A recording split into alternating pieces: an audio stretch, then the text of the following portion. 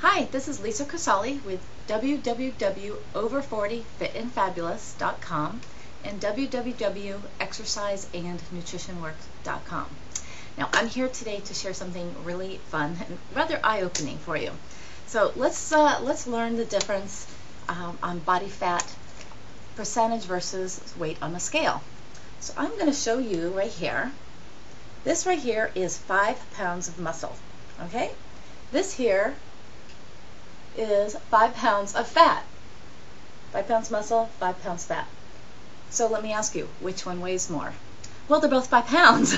Great, but which one, ah, which one takes up more room? That's really clear and very easy to see here. So, what if you were to gain five pounds muscle and drop four dress sizes or pant sizes? Would it matter how much you weigh? No, it really wouldn't. Actually, wouldn't matter at all because, quite frankly, let me ask you: if you go out with your girlfriends and um, you know you've been you just dropped four dress sizes, you're more likely to tell them about dropping four dress sizes than telling them what you actually weigh on the scale, aren't you? We never really talk about what we weigh on the scale. Anyway, here's another reason that weight really means nothing, and that's what we're teaching. This right here is one pint of water. Okay, one pint of water weighs one pound. That's just two cups of liquid here.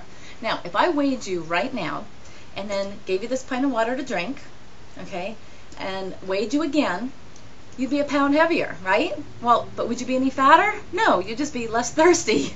So this really illustrates how weight is really more of an optical illusion. What really matters is how much room we take up, not how much we weigh.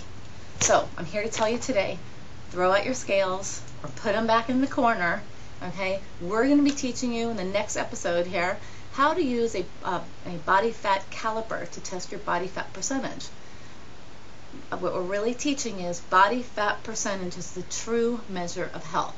So stay tuned to your health, wealth, and fabulous success. This is Lisa Crisalle.